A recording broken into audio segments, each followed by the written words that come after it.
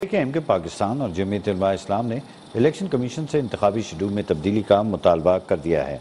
मुतहदा पाकिस्तान की convener doctor Khalid मकबूल सदीकी ने chief election commissioner को इस हवाले से दरख्वास्त जमा करा दी है। दरख्वास्त में मौक़ अपनाया है कि कागजात नामजदगी के लिए बाईस दिसंबर तक का वक्त दिया गया है। तीन दिन का ये वक्त बहुत कम है।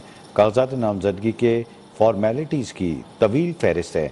इलेक्शन कमीशन से इस्तः के कागजात नामजदगी जमा कराने की तारीख बढ़ाई जाए उधर जे यू आई के सेनेटर कामरान मुर्तज़ा ने chief election commissioner Sikandar Sultan Raja को लिखे गए ख़त में मौक़ इख्तियार किया कि इलेक्शन कमीशन ने शेड्यूल में कागजात नामजदगी जमा कराने के लिए तीन दिन का वक्त रखा है। इस तीन दिन का इजाफा किया जाए, जबकि कागजात नामजदगी की स्क्रूटनी का वक्त सात से कम करके चार दिन किया जा सकता है। स्क्रूटनी का वक्त कम करने के लिए पोलिंग आठ फरवरी को कराना मुमकिन होगा। जे यू आई को इंतबात की तारीख और दीगर इलेक्शन शेड्यूल के मराहल पर कोई इतराज़ नहीं। इलेक्शन एक्ट के सेक्शन अट्ठावन के तहत इलेक्शन कमीशन शेड्यूल के अंदर रद्दबदल कर सकता है।